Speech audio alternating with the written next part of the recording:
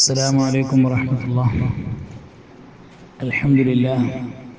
الحمد لله. كفى وسلام على عباده الذين اصطفى. ما بعد. رب اشرح لي صدري ويسر لي أمري واحلل عقدة من لساني يفقه قولي. بسم الله الرحمن الرحيم. وعن أمير المؤمنين أبي حفص عمر بن الخطاب بن نفيل بن عبد العزى بن رياح بن عبد الله بن ابن قرط بن رزاح بن عدي بن كعب بن لؤي بن غالب القرسي العدوي رضي الله عنه أنه قال سمعت رسول الله صلى الله عليه وسلم يقول إنما الأعمال بالنيات وإنما لكل امرئ ما نوى فمن كانت هجرته إلى الله ورسوله فهجرته إلى الله ورسوله ومن كانت هجرته لدنيا يصيبها أو امرأة ينجحها فهجرته إلى ما هاجر إليه متفق عليه മഹാനായ മുസന്നിഫ് റഹ്മത്തുള്ളാഹി അലൈഹി ബാബുൽ ഇഖ്ലാസ് ഇഖ്ലാസ് എന്ന ബാബിൽ ഇഖ്ലാസിനെ സംബന്ധിച്ച് വിശദീകരിക്കുന്ന ഈ ബാബിൽ മൂന്നോ നാല് ആയത്തുകൾ നാല് ആയത്തുകൾ ആദ്യമായി ഓതി അതിനുശേഷം ഒരു പതിമൂന്നോളം ഹദീസുകൾ ഈ ബാബിൽ ബഹുമാനപ്പെട്ട മുസന്നിഫ് റഹ്മത്തുള്ളാഹി അലൈഹി കൊണ്ടുവന്നിട്ടുണ്ട് അതിൽ ആദ്യത്തെ ഹദീസാണ് നാം ഇപ്പോൾ വായിച്ച ഹദീസ് അമീറുൽ മുഅ്മിനീൻ ഉമർ ബിൻ ഖത്താബ് റളിയല്ലാഹു അൻഹുവിൽ നിന്നും റിവായത്ത് ചെയ്യപ്പെടുന്ന ഹദീസാണ് عن أمير المؤمنين أبي حفص عمر بن الخطاب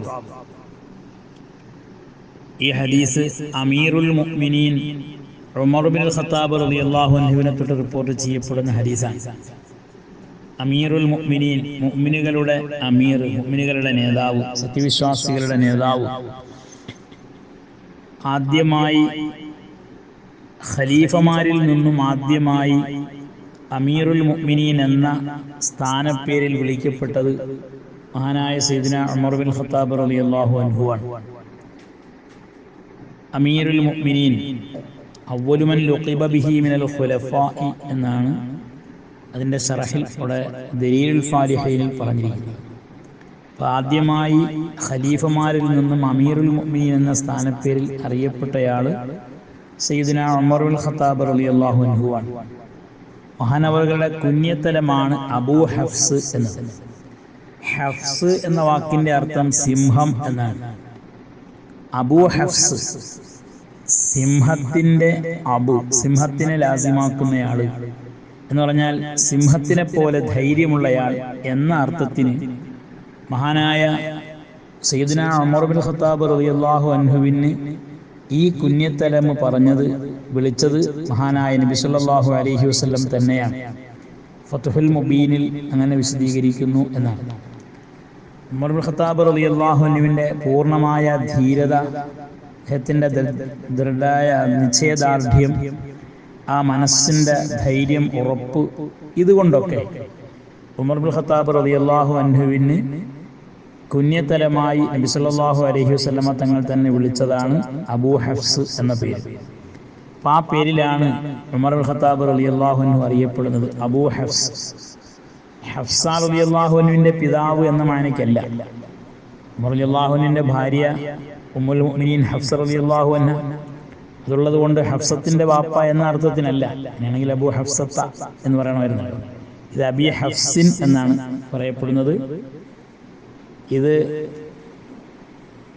അസദ് എന്ന അർത്ഥത്തിന് സിംഹത്തെ പോലെ സിംഹത്തെ പോലെ ധൈര്യമുള്ളയാൾ എന്ന അർത്ഥത്തിനാണ്. അവാമിലിന്റെ അവസാനത്തിൽ അഖ്സാമ ബില്ലാഹി അബൂ ഹഫ്സിൻ ഉമർ മാമസ്സഹാ മിൻ അഖബിൻ വലാ ദബർ എന്ന ഒരു ബൈത്ത് അവാമിലിന്റെ അവസാനത്തിൽ കൊണ്ടുവന്നിട്ടുണ്ടല്ലോ. അവിടെയും അബൂ ഹഫ്സ് എന്നാണ് ഉമർ അള്ളാഹുവിന് പറഞ്ഞ പേര്. അത് ഈ അർത്ഥത്തിനാണ് ചിലരൊക്കെ അത് ഹസാർ അള്ളാഹുവിന്റെ പിതാവ് എന്ന അർത്ഥത്തിന് തെറ്റിദ്ധരിച്ചിട്ടുണ്ടെങ്കിൽ അത് ശരിയല്ല അത് തിരുത്തണം.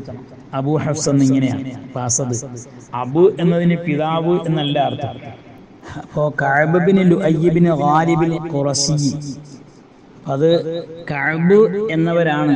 അത് നബി സല്ലല്ലാഹു അലൈഹി വസല്ലമ തങ്ങളുടെ പിതൃപരമ്പരയിൽ വരുന്ന കഅബ് എന്നവരാണ്. കഅബ് ബിൻ ലുഅയ്യി.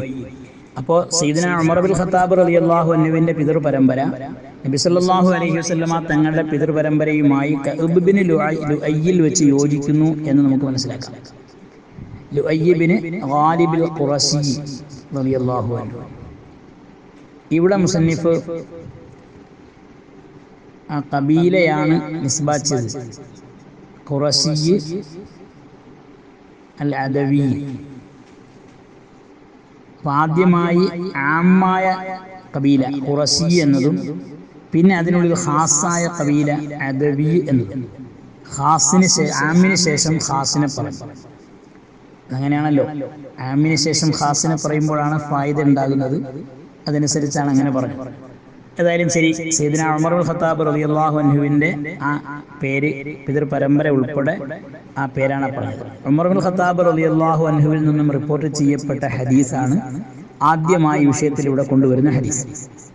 ഉമർ റളിയല്ലാഹു അൻഹു റസൂലുള്ളാഹി സ്വല്ലല്ലാഹു അലഹി വസല്ലമ തങ്ങളിൽ നിന്നും അഞ്ഞൂറ്റി മുപ്പത്തിയേഴ് ഹദീസുകൾ റിപ്പോർട്ട് ചെയ്യപ്പെട്ടിട്ടുണ്ട്. അതിൽ നിന്നും ഇമാം ബുഖാരിയും മുസ്ലിമും രണ്ടുപേരും ഇത്തിഫാക്കായി റിപ്പോർട്ട് ചെയ്തത് ഇരുപത്തിയാറ് ഹദീസുകളാണ്. ഇമാം ബുഖാരി മാത്രം റിപ്പോർട്ട് ചെയ്ത ഹദീസുകൾ മുപ്പത്തിനാല് ഹദീസുകൾ. മുസ്ലിം റളിയല്ലാഹുവിന് മാത്രം റിപ്പോർട്ട് ചെയ്ത ഹദീസുകൾ ഇരുപത്തി ഒന്ന് ഹദീസുകൾ ബാക്കിയുള്ള ഹദീസുകൾ മറ്റ് ഇമാമിയങ്ങളൊക്കെ റിപ്പോർട്ട് ചെയ്തതാണ്. അപ്പോൾ അതിൽ മുത്തഫഖുൻ അലൈഹിയായ ഹദീസുകൾ പെട്ടതാണ് നമ്മുടെ ഇവിടുത്തെ ഹദീസ്. ഇമാം ബുഖാരിയും ഇമാം മുസ്ലിം രണ്ടുപേരും ഇത്തിഫാഖായ ഇരുപത്തിയാറ് ഹദീസുകളിൽ പെട്ട ഒരു ഹദീസാണ്.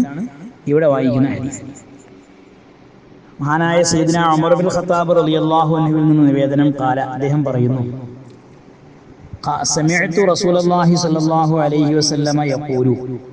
റസൂലുള്ളാഹി സ്വല്ലല്ലാഹു അലൈഹി വസല്ലമ തങ്ങൾ പറയുന്നത് ഞാൻ കേട്ടു. റസൂലുള്ളാഹി സ്വല്ലല്ലാഹു അലൈഹി വസല്ലമ തങ്ങളെ ഞാൻ കേട്ടു. യഖൂലു നബി സല്ലല്ലാഹു അലൈഹി വസല്ലമ തങ്ങൾ പറയുന്നതായ നിലയിൽ കേട്ടു. അവിടെ സമിഅ്തു റസൂലുള്ളാഹി സ്വല്ലല്ലാഹു അലൈഹി വസല്ലം എന്ന് പറയുമ്പോൾ അവിടെ ഒരു മുവാഫ് സങ്കല്പിക്കലാണ് സാധാരണ എല്ലാവരും പറയുക സമിഅ്തു കലാമ റസൂലില്ലാഹി സ്വല്ലല്ലാഹു അലൈഹി വസല്ലം. റസൂലുള്ളാഹി സ്വല്ലല്ലാഹു അലൈഹി വസല്ലമ തങ്ങളുടെ കലാമിനെ ഞാൻ കേട്ടു. ഇത് നബി സല്ല- നബി സല്ലല്ലാഹു അലൈഹി വസല്ലമ തങ്ങൾ പറയുന്നതായ നിലയിൽ നബി തങ്ങളുടെ കലാമിനെ ഞാൻ കേട്ടു. അങ്ങനെയാണെങ്കിൽ അത് ഹാൽ മുബയ്യനത്ത് മുബയ്യനത്തായ ഹല. തങ്ങളുടെ കലാമിനെ കേട്ടു തങ്ങൾ പറയുന്നതായ നിലയിൽ കേട്ടു. പറയുന്നതായ നിലയിൽ തങ്ങളുടെ കലാമിനെ കേട്ടു. കലാമിൽ നിന്ന് ഹാല കലാമ റസൂലില്ല ആ സങ്കല്പിക്കപ്പെട്ട മുലാഫിൽ നിന്ന് ഹാലാണ്. യഖൂലു എന്ന്. അപ്പൊ കളയപ്പെട്ട മുലാഫിനെ ബയാൻ ചെയ്യുന്ന ഹാലിയായ ഹാല. മുബയ്യനത്തായ ഹാല. ഇനി അതല്ലെങ്കിൽ റസൂലുല്ലാഹിയെ കേട്ടു നേരെ മുലാഫ് സങ്കല്പിക്കാതെ പറയുകയാണെങ്കിൽ യക്കൂലു എന്നത് ഇസ്തിമാൽ ബദലാണ് നബി സല്ലല്ലാഹു അലൈഹി വസല്ലമ തങ്ങളെ ഞാൻ കേട്ടു. അതായത് തങ്ങൾ പറയുന്നതായ നിലയിൽ കേട്ടു. തങ്ങൾ പറയുന്നതായിട്ട് കേട്ടു. ബദൽ ഇസ്തിമാൽ ഇസ്തിമാൽ ബദൽ. നബി സല്ലല്ലാഹു അലൈഹി വസല്ലമ തങ്ങളെ കേട്ടു. അതായത് തങ്ങൾ പറയുന്നതായിട്ട് കേട്ടു. അപ്പൊ അത് യഖൂലു എന്ന ജുംല ഇസ്തിമാൽ ബദലാണ് അപ്പൊ ആ രണ്ട് രൂപത്തിൽ പറയാം. അപ്പൊ നബി സല്ലല്ലാഹു അലൈഹി വസല്ലമ തങ്ങളെ ഞാൻ കേട്ടു. നബി തങ്ങൾ പറയുന്നതായിട്ട് കേട്ടു. എന്താ പറഞ്ഞു? ഇന്നമൽ അഅമാലു ബിൻ നിയാത്തി ഇന്നമാലി കുല്ലിംരിഇം മാനവ എന്ന് നബി സല്ലല്ലാഹു അലൈഹി വസല്ലമ തങ്ങൾ പറയുന്നതായിട്ട് ഞാൻ കേട്ടു.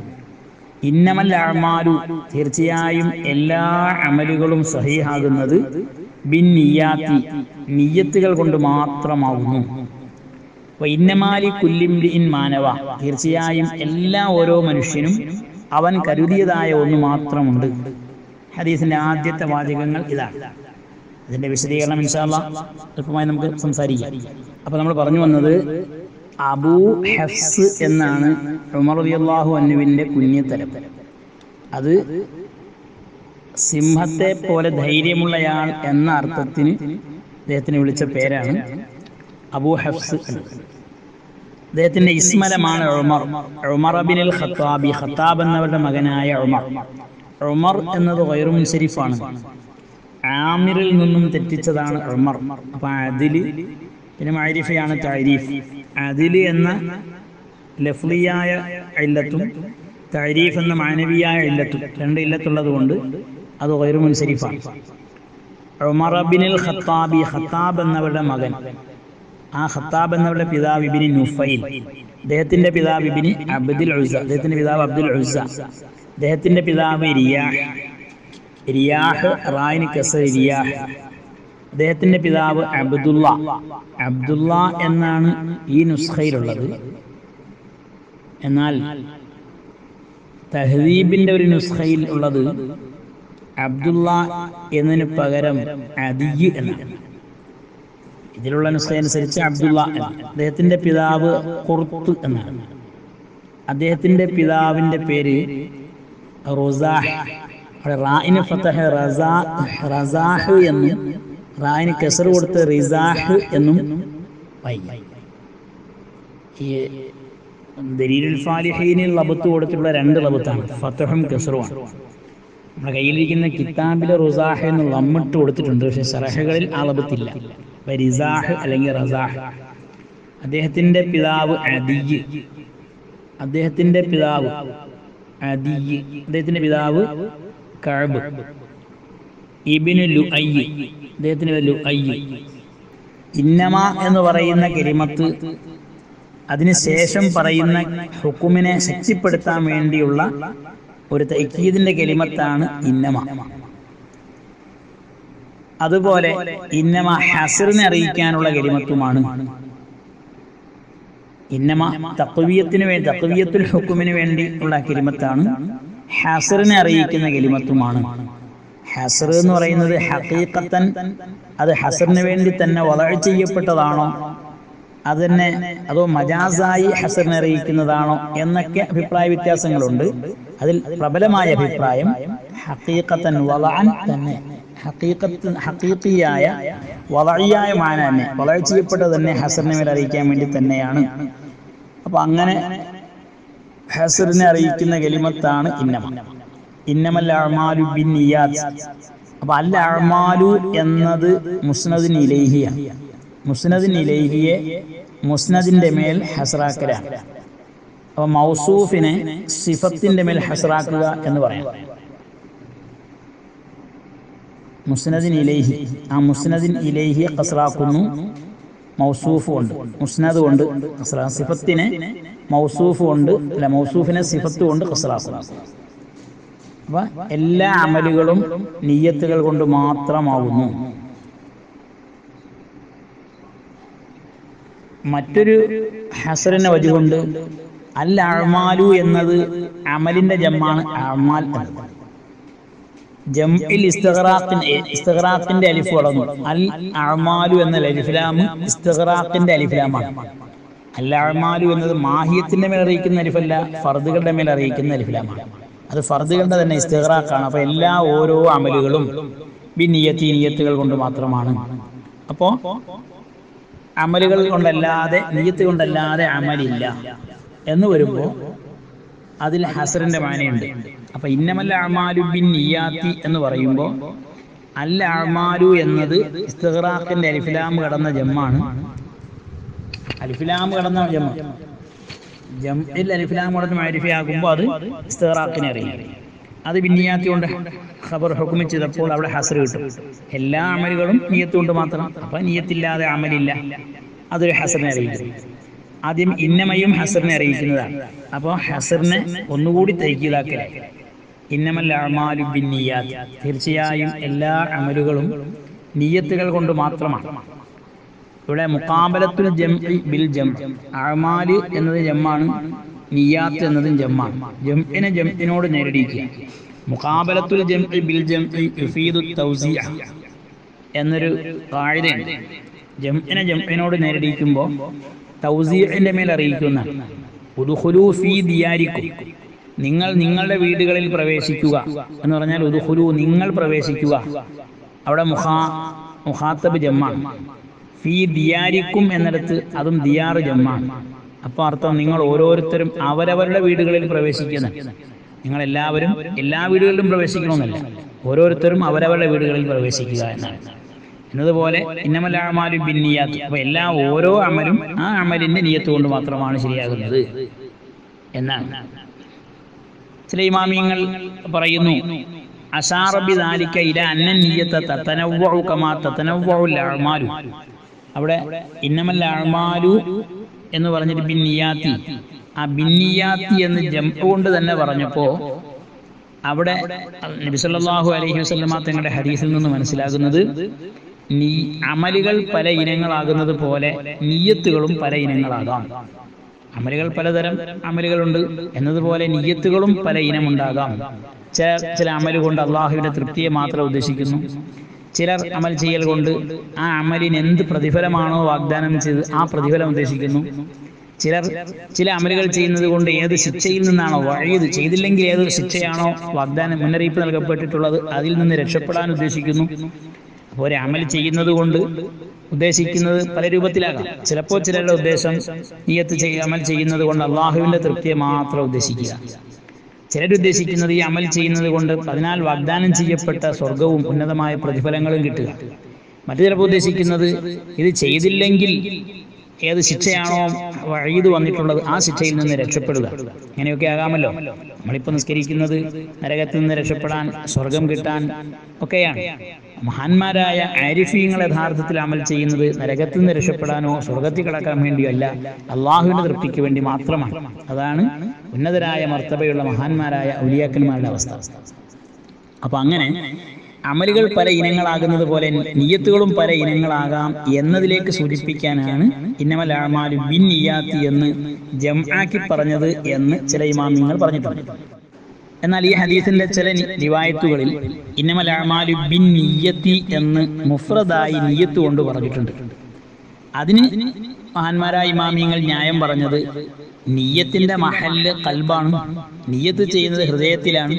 ഹൃദയം ഒന്നു മാത്രമാണ്. അതുകൊണ്ടാണ് അതിനെ മുഫ്രദാക്കിയത്. എന്നാൽ അമലുകളാണെങ്കിലോ അമലുകൾ ബാഹ്യമായ നമ്മൾ അവയവങ്ങളോട് ബന്ധിച്ചതാണ്. അവയവങ്ങൾ പലതുമാണ്. അപ്പൊ അതുകൊണ്ട് അതിനെ ജമ്മാക്കി പറയലാണ് യോജിപ്പ് അതുകൊണ്ടാണ് ഇന്നമൽ അമാലു ബിൻ നീയത്തി എന്ന് പറഞ്ഞത് എന്ന് ചില ആൾക്കാർ അതിനെ വ്യാഖ്യാനിച്ചു. മറ്റു ചിലർ പറഞ്ഞു നീയത്ത് എന്ന് പറയുന്നത് ഇഖ്ലാസിലേക്ക് മടങ്ങുന്നതാണ്. ഇഖ്ലാസ് എന്ന് പറഞ്ഞാൽ അത് ഒരു കാര്യം. അത് ഏകനായ അള്ളാഹുവിന്റെ തൃപ്തിക്ക് വേണ്ടി മാത്രം ചെയ്യുന്ന ഒരു കാര്യമാണ് ഇഖ്ലാസ്. അപ്പൊ വാഹിദുൻ ലിൽ വാഹിദ് അല്ലദീ ലാ ശരീക ലഹു.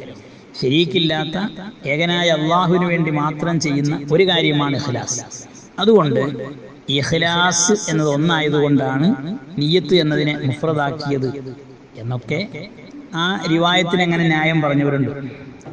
ഏതോ ആയിക്കോട്ടെ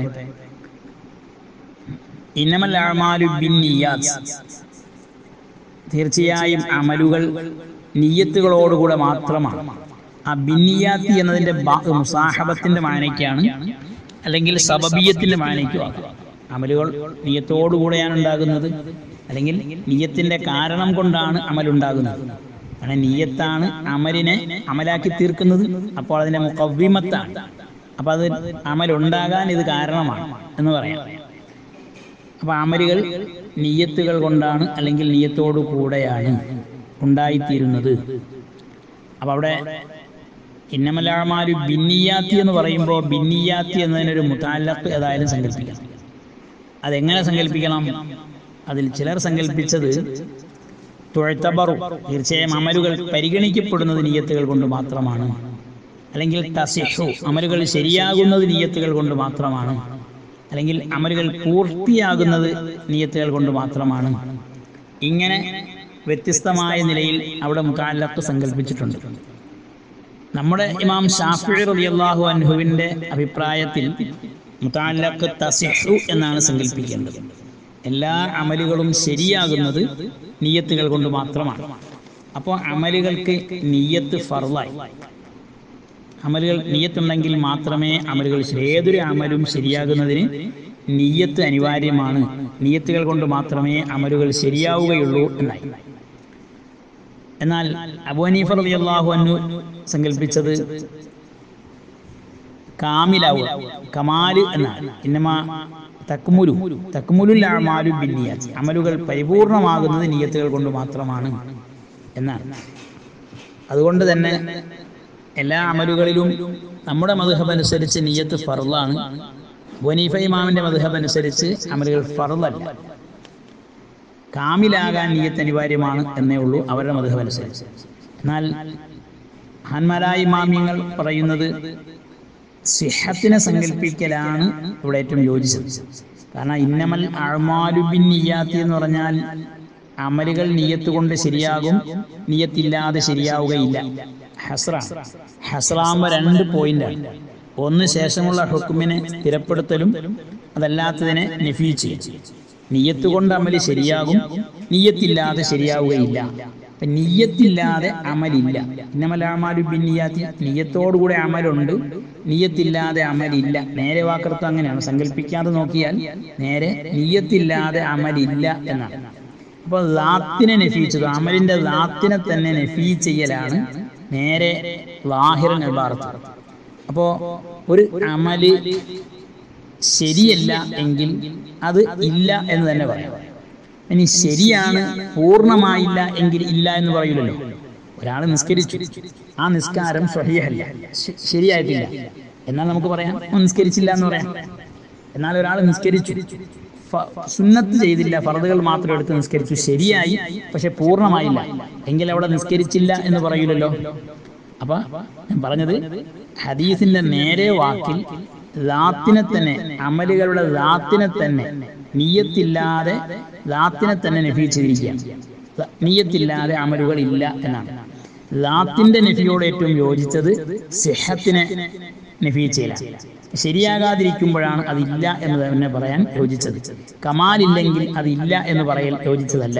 അതുകൊണ്ടാണ് സിഹത്ത് എന്ന് പറയലാണ് സിഹത്ത് എന്ന് സങ്കല്പിക്കലാണ് ഏറ്റവും യോജിച്ചത് എന്ന് മഹാന്മാരായ ഇമാമുകൾ പറയുന്നു. ശാസ്ത്രീയ മധുഹബ് അനുസരിച്ച് അങ്ങനെയാണ് സങ്കല്പിക്കുന്നത് അതുകൊണ്ടാണ് നീയത്ത് നമ്മുടെ മധുബിൽ ഫറലായത് ബഹുമാനപ്പെട്ട ഇബിൻ അഹ് അസ്ഖലാനി റളിയല്ലാഹു ഫത്തുഹുൽ ബാരിയുടെ വിശദീകരണത്തിൽ അവിടെ പറയുന്നു വൽ ഹദീസു മത്രൂഖുൽ ലാഹിർ ഈ ഹദീസിന്റെ ലാഹിർ മത്രൂക്കാണ് ഹദീസിന്റെ ലാഹിർ ഉദ്ദേശമില്ല.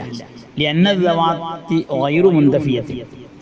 നേരെ നോക്കിയാൽ നീയത്തില്ലാതെ അമലില്ല എന്നാണ് വരുന്നത്. നീയത്തില്ലാതെ അമലുകൾ ഇല്ല എന്നാണല്ലോ നേരെ ലാഹിർ. ആ ലാഹിർ ശരിയല്ല. പിന്നെ അവിടെ ഉദ്ദേശിക്കുന്നത് എന്താണ്? ഹുക്കുമിന്റെ നഫിയാണ്. അപ്പൊ ദവാത്തിന്റെ നഫിയാണ് ലാഹിർ. ആ ലാഹിർ മുറാദല്ല. അതിന്റെ ഹുക്കുമിന്റെ നഫിയാണ് ഉദ്ദേശം ഹുക്കും ഒന്നുകിൽ സിഹത്ത് അല്ലെങ്കിൽ കമാലി.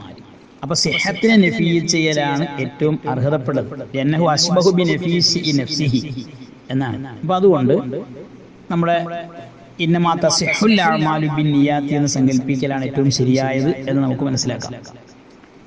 അതുപോലെ അഅ്മാൽ അമൽ എന്ന് പറയുന്നത് ജവാരിഹിന്റെ ഫിഴലുകൾ പ്രവർത്തനങ്ങൾ അമലുകൾ അവയവങ്ങൾ കൊണ്ടുള്ള പ്രവർത്തനങ്ങളെ ഉൾപ്പെടുത്തും അപ്പൊ നാവിന്റെ പ്രവർത്തനങ്ങളും ഉൾപ്പെടും.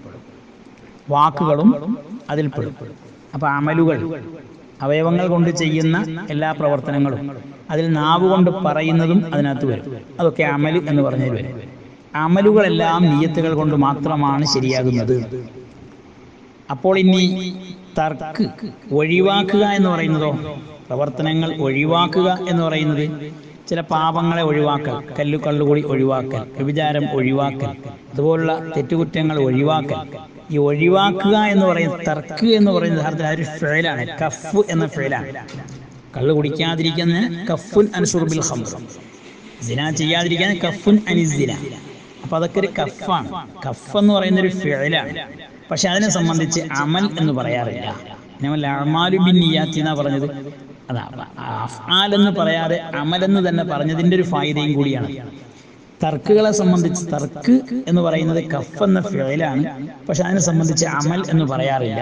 അപ്പൊ അതുകൊണ്ട് തർക്ക് ശരിയാകുന്നതിന് നീയത്തിന്റെ അനിവാര്യമല്ല നീയത്ത് ആവശ്യമില്ല. എന്നാൽ അതിന്റെ പ്രതിഫലം കിട്ടുന്ന വിഷയത്തിലാണ് ആവശ്യമാകുന്നത്. തർക്ക് എന്ന് പറയുന്നത് കാര്യങ്ങൾ പാപങ്ങൾ ഒഴിവാക്കുക. ഹറാമായ കാര്യങ്ങളെ ഒഴിവാക്കുക. ഹറാമായ കാര്യങ്ങൾ ഒരാൾ ചെയ്യുന്നില്ല. ചെയ്യുന്നില്ല എങ്കിൽ അത് ശരിയാകുന്നതിന് നീയത്തിന്റെ ആവശ്യമില്ലല്ലോ.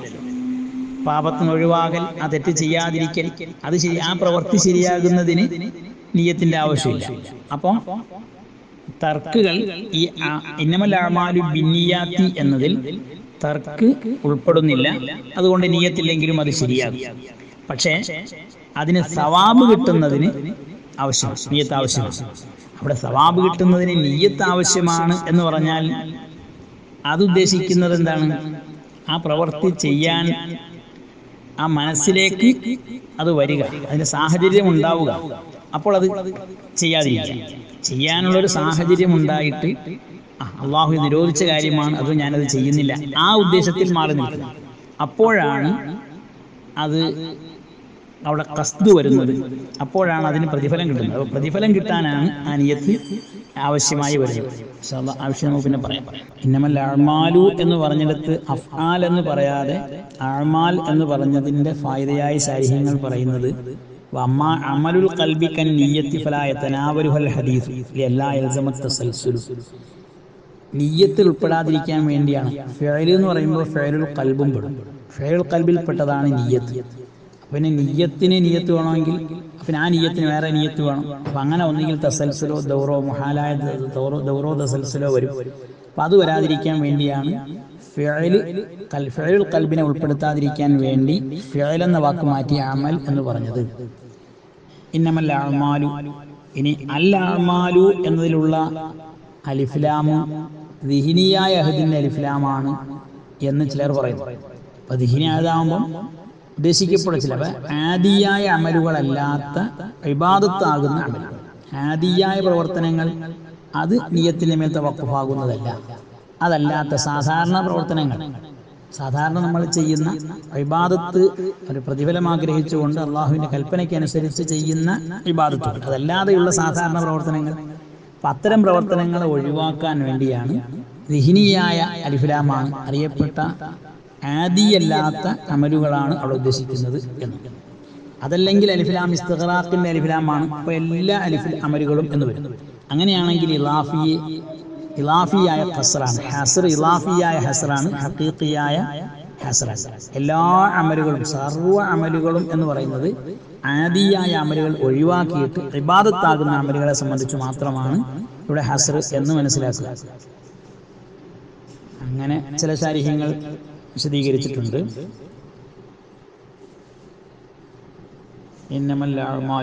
അപ്പൊ തീർച്ചയായും എല്ലാ അമലുകളും ശരിയാവുന്നത് ബിന്നിയാത്തി നിയ്യത്തുകൾ കൊണ്ടാണ്. അന്നിയാത്തി എന്നതിലുള്ള അലിഫിലാമ് ഐവളിന്റെ അലിഫിലാമാണ്.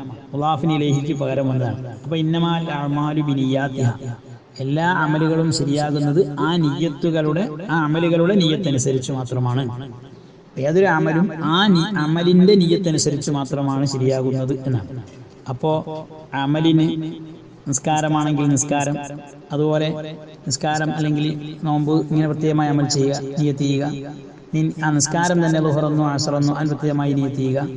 അത് കസറാണെങ്കിൽ അങ്ങനെ ഖസറല്ലാത്ത അങ്ങനെ ഇങ്ങനെ ഓരോ പ്രത്യേകമായ നീയത്തുകൾ.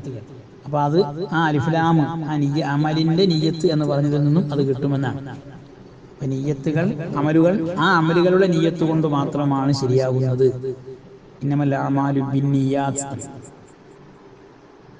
അങ്ങനെ നമ്മുടെ ശാരീരങ്ങൾ ഈ അതിഥിനൊക്കെ ധാരാളമായി വിശദീകരിച്ചിട്ടുണ്ട്. ഇനിയും ചില വിശദീകരണങ്ങളൊക്കെ സറഹകളിൽ കാണുന്നുണ്ട്. എല്ലാം പറയാൻ സമയമില്ല. അതുകൊണ്ട് തൽക്കാലം ഇപ്പൊ നമുക്ക് നിർത്തുകയാണ്. വിശദീക സമയക്കുറവുണ്ട്. ബാക്കി സമയമുള്ളപ്പോൾ ബാക്കി വിശദീകരിക്കാം. തൽക്കാലം ചെറിയ വിശദീകരണത്തിൽ ഒതുക്കുകയാണ് എല്ലാ ചുരുക്കത്തിൽ മനസ്സിലാക്കാനുള്ളത് എല്ലാ അമലുകളും ശരിയാകുന്നത് നീയത്തിന്റെ അടിസ്ഥാനത്തിൽ മാത്രമാണ്. എന്നാണ്. അപ്പം അമൽ നീയത്ത് ചെയ്യുന്നത് എന്തിനാണ്? ആദിയായ പ്രവർത്തനങ്ങളെ ആദിയല്ലാത്ത പ്രവർത്തനങ്ങൾ അല്ല ഇബാദത്തുകളെ ഇബാദത്തല്ലാത്ത ആദിയായ പ്രവർത്തനങ്ങളിൽ നിന്ന് വേർതിരിക്കാൻ വേണ്ടിയാണ് നീയത്ത് നീയത്തിന്റെ ഒരു ഫായിദ. അല്ലേ? നമ്മൾ സാധാരണ കുളിക്കുന്നു. കുളി ഒരു സാധാരണ പ്രവൃത്തിയാണ്. എന്നാൽ വെള്ളിയാഴ്ച ജുമായ്ക്ക് വേണ്ടി കുളിക്കുക അല്ലെങ്കിൽ നിർബന്ധമായ കുളി കുളിക്കുക. അതൊക്കെ വിവാദത്താണ് അപ്പം അതിന് നീയത്ത് ചെയ്യുമ്പോൾ അത് വിവാദത്തായി മാറുന്നു. നീയത്തല്ലാതെയാകുമ്പോൾ അതൊരു സാധാരണ പ്രവർത്തകയായി മാറുന്നു. പള്ളിയിൽ കയറിയ ഒരാൾ പള്ളിയിൽ വന്നിരിക്കുന്നു ജമാഅത്തിന് സമയമാകുന്നവരെ കാത്തിരിക്കുന്നു. അത് സാധാരണ ഒരു ഇരുത്തം. എന്നാൽ നീയത്ത് ചെയ്താൽ അതൊരു അഴിബാദത്തായി അഴ്ത്തിക്കാഫിന് നീയത്ത് ചെയ്താൽ അതൊരു അഴിബാദത്തായി മാറുന്നു. അപ്പൊ നീയത്ത് കൊണ്ടുള്ള ഒരു നേട്ടം ആദിയായ പ്രവർത്തനങ്ങളിൽ നിന്നും അഴിബാദത്തിനെ വേർതിരിക്കുക. അത് നീയത്തിന്റെ ഒരു നേട്ടമാണ്. അതുപോലെ ഒരു അഴിബാദത്തിനെ മറ്റൊരു വിവാദത്തിൽ നിന്ന് വേർതിരിക്കുക. ലുഹർ നിസ്കരിക്കുന്നത് അസർ നിസ്കരിക്കുന്നത് ഒരുപോലെ തന്നെയാണ്. പക്ഷേ നീയത്ത് എന്താണ്? ലുഹർ എന്ന് കരുതിയപ്പോൾ ലുഹറായി അസർ എന്ന് കരുതിയപ്പോൾ അസറായി.